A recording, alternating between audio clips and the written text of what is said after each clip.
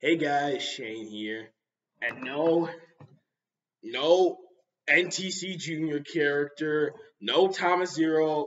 It's just me doing an unscripted apology video. And this apology goes out to a very certain Brony reviewer. You probably might know him as the editor. Oh boy, did I done goofed up real, real badly. So for those of you who guys don't know, I'm gonna basically explain my little history with the editor and basically describe about this argument. So let's begin. It all started back in 2016 when I pretty much just doing YouTube. This was before the NTC Junior character was created. But then I saw a notification. I saw on my notification bars or my recommendation. It said cut and print, read it and weep. I had no idea. I haven't heard of My Little Pony at the time, so I just watched the review and I'm like, huh, that's a pretty good review. Must have a really good episode. So after that, something in my brain just snapped.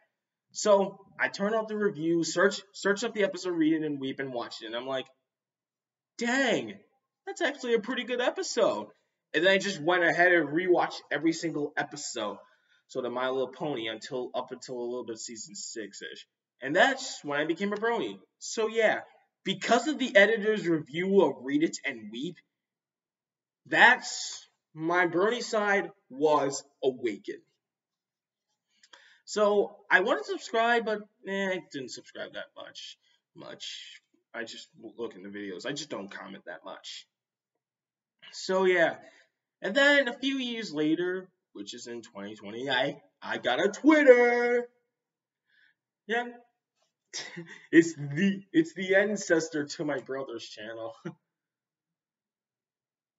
okay. I'm getting ahead of myself here.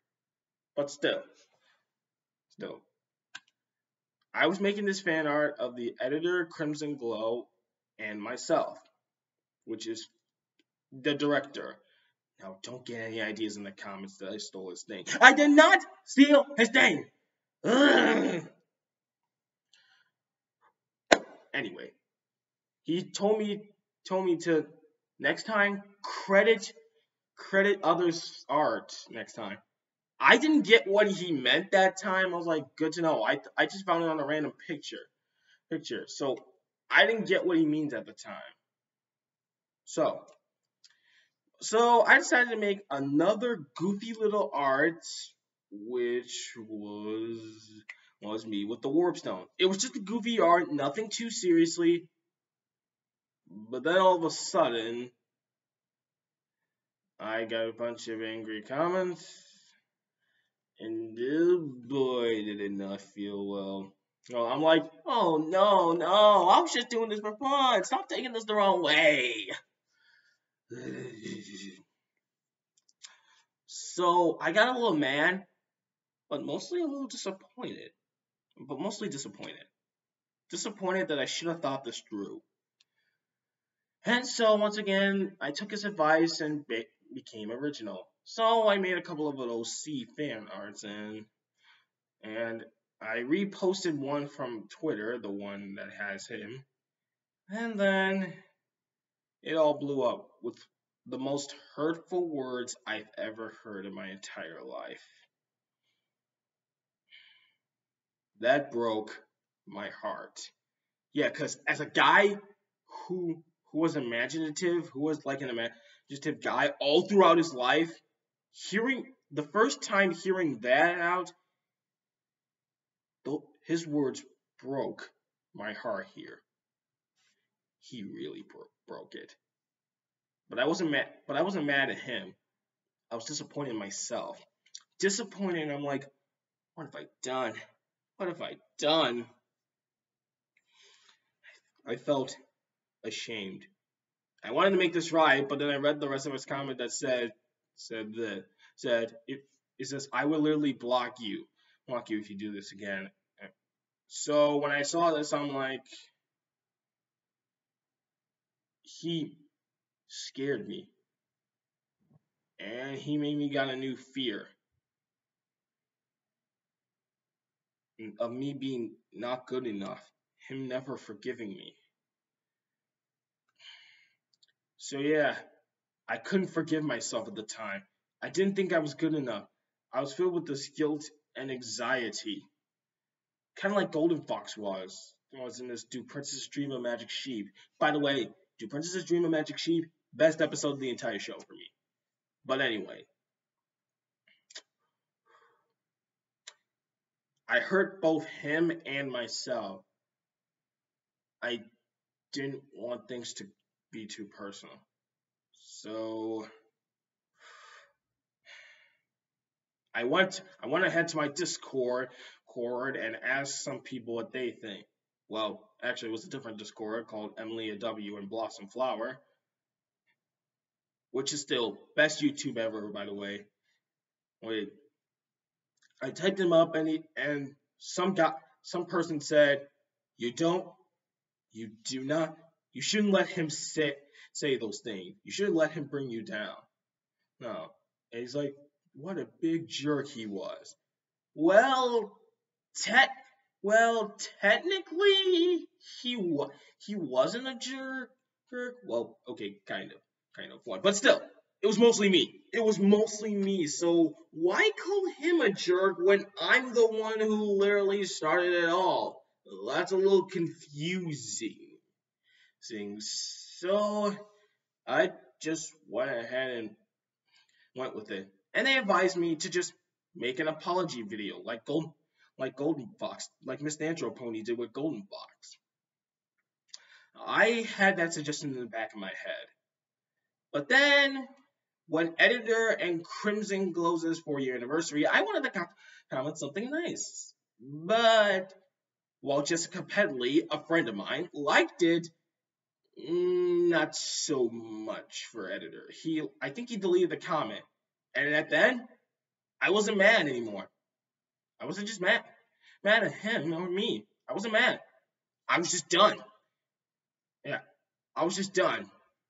I was done with him being angry at me, and I was literally done with just being guilty with myself. So I, so I literally took their advice, went ahead, took the, took the laptop, and just pressed record, and just made this freaking apology just to say I'm sorry. I really am sorry, Ed. I'm sorry for hurting you so bad. And to all his fans, I am indeed sorry. I didn't mean th- for things to go too far. And if I gotta kill my DeviantArt account just to not do this, then I probably might. This is just, it was just sadding. It was a sad time for me. But you all probably might be wondering, dude, Shane, you're just doing this because to get a commission mission from the guy or become a war block or maybe even be his friend. No. And oh, listen here. I'm not doing this just to get my commission from him. I'm not doing this just to become a war block. I'm not even doing it just to be his friend. I'm doing it to fix my mistakes. Because in my family, we have a motto. Always fix your mistakes. Even if the person hates you for it, like editor, we always gotta fix the mistakes. And if you say that that's not a mistake you cannot fix, I say bullshit. You can always fix these mistakes, and which I am going to do. And you're also probably wondering, editor might be wondering, Shane, I'm not sure. You don't even deserve that second chance. You don't after what you did, you don't deserve that second chance at all. Well, that's why I'm gonna have to say say you're wrong on that one. Because here's the thing. To to quote from a move to quote from a lesson from a from a movie, from my favorite childhood show, Veggie Tales, everyone deserves a second chance. No matter how much they anger you. No, it's like this. Knowing what I was doing wrong, I said I was sorry. I put down my my fighting stuff and my guilt and I and ask some ask God for a second chance, and by God, He's given me one. So yeah, God usually gives me a second chance. Even this even this guy can even you can. and pretty much everyone else.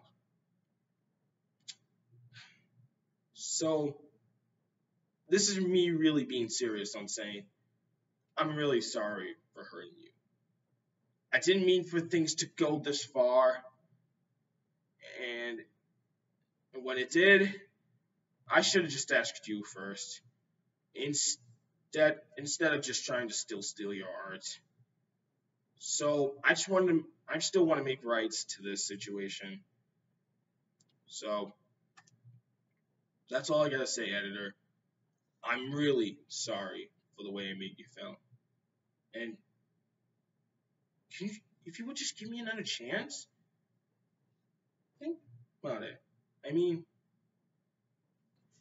if only you were Christian, everybody needs a second chance. Even the ones you hurt, even the ones who anger you, they still need second chances. So, that's all I gotta say. So, thank you guys for watching and forevermore. I'm the NTC Junior. I mean, my name is Shane, and look, Ed. I never wanted to hurt you, and I wish our disagreements could come to a very, very mature conclusion. So, like I said before, forevermore, my name is Shane, and I'm out, y'all. Peace. Don't worry, Ed. I'm gonna make that change.